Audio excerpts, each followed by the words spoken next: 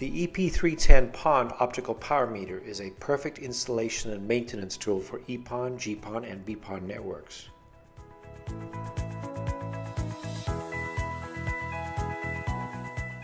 The EP310 uses pass-through measurements, which gives it the capability of measuring all PON signals simultaneously. The upstream signal is a 1310 nanometer wavelength, and the downstream signals are the 1490 and 1550 nanometer wavelengths.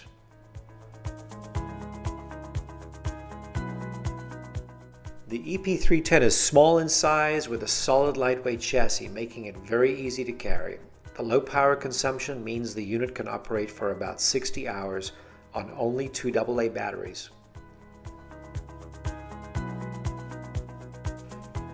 Before operation, the ONT and OLT ends should both be connected to the meter. The ONT connection is on the left and the OLT is on the right, under the protective cap on the top of the meter. Turn the meter on using the orange power button. Once the unit is turned on, the same power button can be used to toggle the auto shutdown on and off. If the icon is visible on the top left of the screen, it means the meter will be in the auto power off mode. The screen backlight provides better screen clarity for interior use.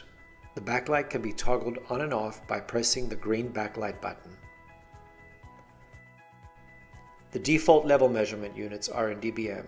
Pressing the dBm watt button will change the units from dBm to nanowatts. A threshold is for the purpose of notifying the user of pass, warning, and fail values for the preset levels you have chosen. To modify them, choose a threshold number, select the threshold button and toggle the left and right arrow to show the threshold value that you need. For this training, we'll be using threshold 1. Now press the enter button to go into that threshold and set the values. The first wavelength is 1310. The top value, which is the pass value and will be flashing. The next one down is the warning value and then the fail value.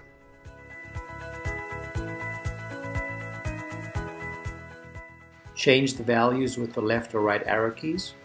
To move to the next value, press the Ref Tab button.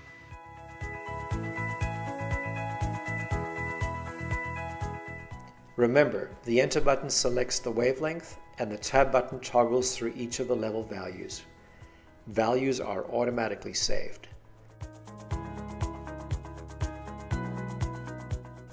Select which threshold profile will be set to default. In this example, profile 2 has a check mark next to the number, which means it is currently the default profile.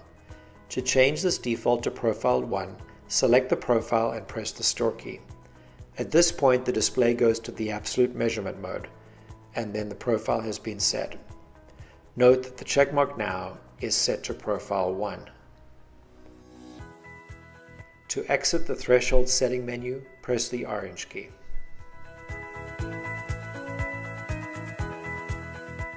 From the absolute measurement mode, select the PF button, which means pass fail, the LED associated with a specific wavelength will turn red, orange, or green, indicating if the level is passing at a warning level or failing.